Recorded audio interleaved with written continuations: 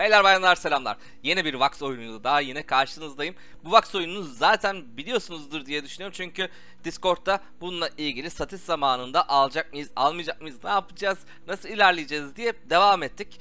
Ve daha önce paylaştığım bir video vardı bu taktikte. Whitelist alma taktiğiyle çok güzel para kazanabilirsiniz diye. Yine o videoda da bu projeden bahsetmiştim. En başında zaten whitelist üreterek paramı ona katlamıştım.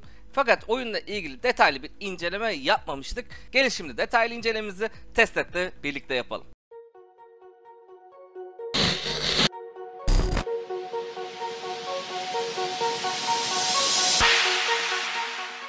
Testnet'e geçmeden önce bir white paper'da ne neymiş, ne olacakmış, ne zaman olacakmış NFT'leri inceleyip roadmap'e bakıp önceki satışın nasıl gittiğiyle ilgili bilgiyi verip daha sonrasında testnet'te birlikte oynayacağız. White Paper'da hemen önemli kısma geçiyoruz arkadaşlar gameplay. Diğer tüm oyunlardaki gibi belli bir resource çıkartıyoruz, kaynak çıkartıyoruz ve buradaki wood, gold, stone ve food hangi NFT'yi stakelerseniz oyun içine sokarsanız da onun karşılığındaki resource'u elde ediyorsunuz. Bu resource'ları çıkartmak için ise mining NFT'lerinden almanız gerek. Bu sefer NFT'leri ayrı ayrı sizlere anlatacağım. Çünkü oyun birazcık daha kapsamlı olduğu için arasındaki farkları size göstermem gerekiyor. Bu mining NFT'leri small mining pack'ler ya da İsterseniz daha büyüklerine ya da orta boya da bakabilirsiniz. Öncesinde satışa sunuldu. Fakat yeterli ilgili toparlayamadı. Bu uyarıyı da geçmem gerekiyor. Ama bu demek değil ki oyun kötüye doğru gitti. Çünkü benzer örneğini aynı şekilde Goldman'de de görebilirsiniz. Goldman arasındaki fark ama Goldman hemen oyunu başlattı. Başta aynı fiyatlara satılırken sonra bir anda hayvan gibi yürüyüp gitti arkadaşlar. Bu oyun ise Mayıs ayında başlayacak. Takım en azından o şekilde söyledi. Oyunu oynamak için gerekli olan bir şey daha var.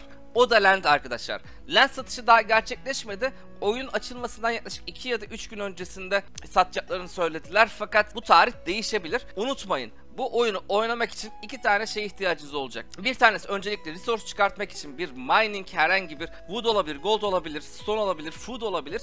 Bunlardan bir tanesi ve kesinlikle land'e ihtiyacınız var. Zaten bu yukarıda kocaman bunun uyarısı geçiyor. E oyun genel olarak baktığınızda e tamam yine bir şeyleri çıkartıyoruz. Ev yine bunları satacak mıyız? Gibi düşünüyorsunuz ama hayır bu kadarla bitmiyor. Alienverse oynadınız mı bilmiyorum ama onda bir hesap yarattığınızda anında size bir NFT veriyor. En başta bir male ya da female human diye seçiyordunuz ve size ikisinden bir tanesinin NFT'sini veriyordu. Bunda da aynı şekilde olacak. Civilization seçtiğiniz anda seçtiğiniz ırka göre size bir NFT verecek. Ve her ırkında kendi karakteristik özellikleri var. Örneğin aşağıdan bakacak olursak Gangster Troop Speed'i daha yavaşken ki boylarından dolayı büyük ihtimalle birazcık da iri olmalarından kaynaklı. Bu daha çok Ninja'ya böyle benzeyen şey daha hızlı hareket edebilecekmiş gibi gözüken Yasuda'lar ise daha hızlı olacak. Daha iri gözüken Gangster'ın saldırı güçleri yüksekken Yasuka'ların saldırı güçleri daha düşük olacak. Oyun burada da bitmiyor. Buranın daha da devamı var.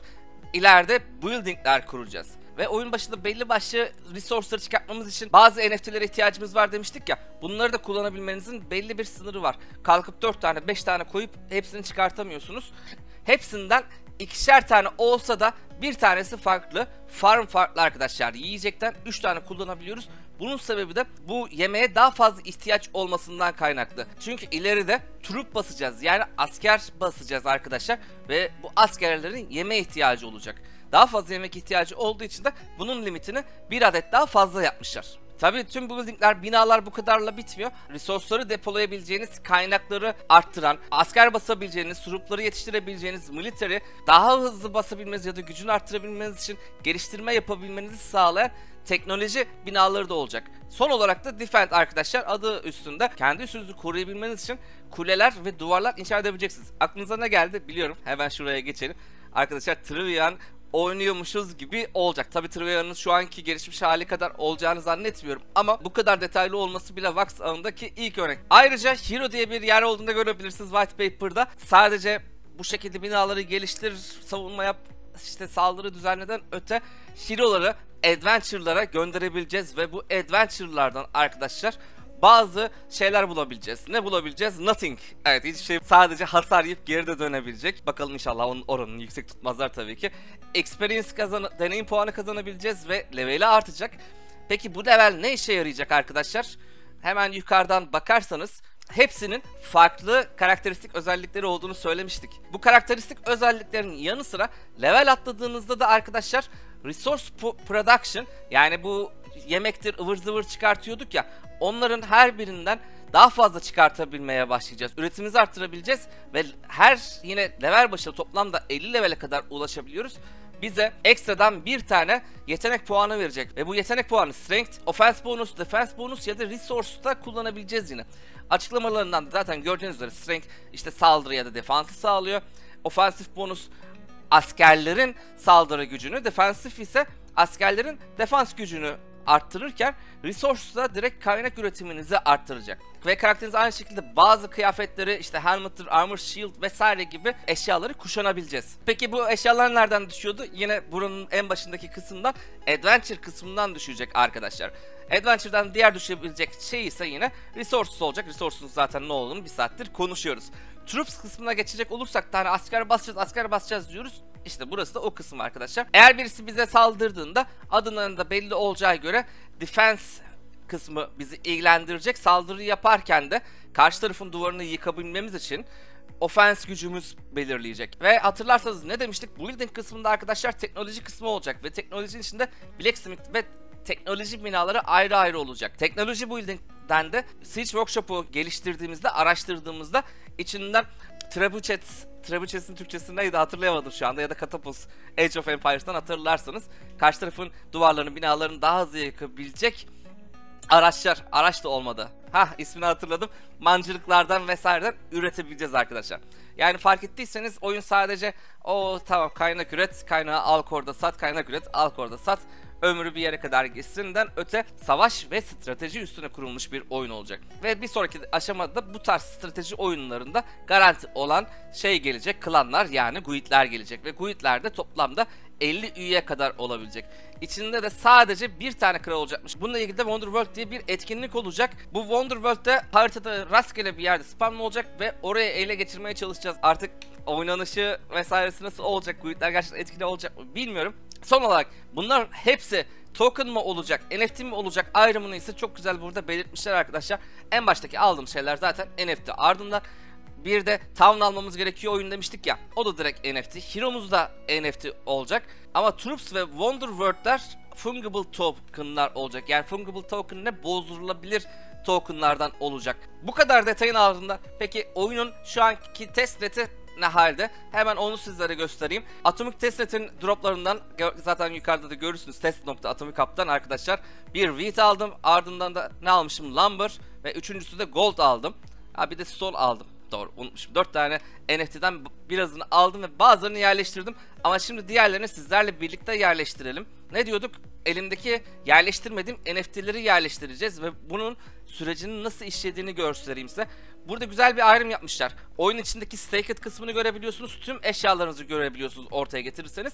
Sağa kaydırırsanız ise unstaked kısmını görebiliyorsunuz. Beni şu anda ilgilendiren unstaked kısmı. Buradan hemen gold mine'ı seçelim ve içeriye stake et diyelim. Cüzdandan ardından onay vereyim. Success dedi. Haydi bir tane de wheat farm yapalım arkadaşlar ve bunu stake edelim.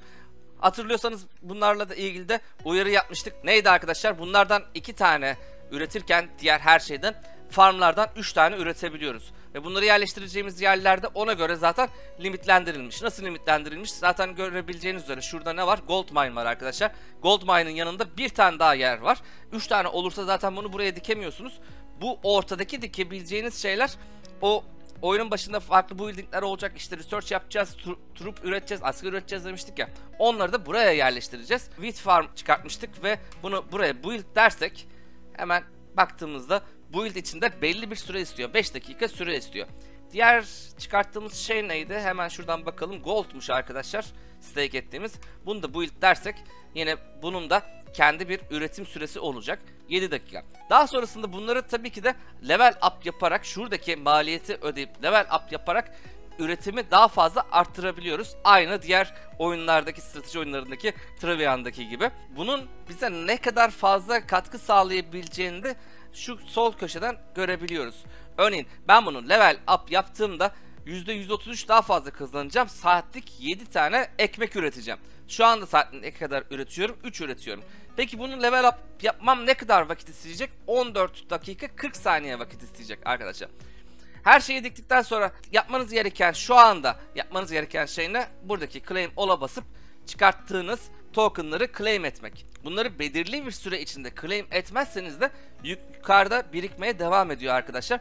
Toplamda 800 adet limit var şu anda ama bu limiti de ne yapıyorduk hatırlarsanız Şuradaki hemen building kısmından tekrar bakalım. Depo binaları yerleştirerek depolayabileceğimiz miktarı arttırabiliyoruz. Oyunla ilgili zaten Discord'da biz sürekli paylaşımlarını yaptık. İşte ne oldu ne satışlar ne zamanda girecek miyiz girmeyecek miyiz? Hatta en sonunda tekrardan bir bu videoyu hazırlamadan önce bununla ilgili genel bir araştırmamızı basit bir ön incelememizi paylaşmıştık. Oyunun gidişatı ne durumda? İyi mi gidiyor?